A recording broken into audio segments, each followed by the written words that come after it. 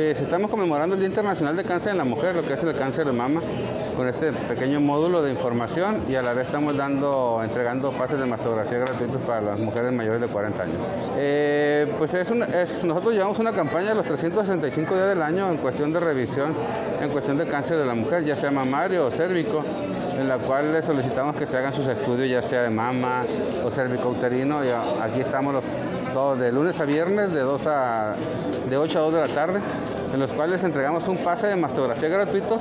Eh, le hacemos una cita y acuden a Tijuana al módulo rosa para llevarse a cabo en IMAXES. Llevamos un aproximado de 15 mujeres ahorita, porque ya llevamos a cabo el evento, pues fue el sábado y ahorita pues ya la poquita que gente que está llegando aquí a información con relación a las placas, pues, estamos aprovechando para que realicen su estudio. Está al 100, ahorita la gente ya, ya está un poquito más informada, informada ya que los medios de comunicación han hecho más énfasis a lo que es el cuidado en la mujer. Pues que acudan a cualquier módulo de atención médica relacionado al cáncer en la mujer, ya sea en el centro de salud o en las asociaciones civiles que están en Tijuana, Mujeres por Mujeres, Mujeres que Viven.